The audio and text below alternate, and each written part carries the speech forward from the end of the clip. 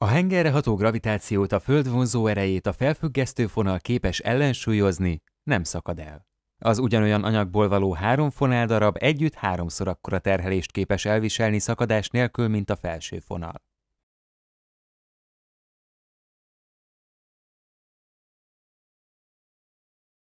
Egy erőteljes, hirtelen rántás hatására mégis a három fonál szakad el.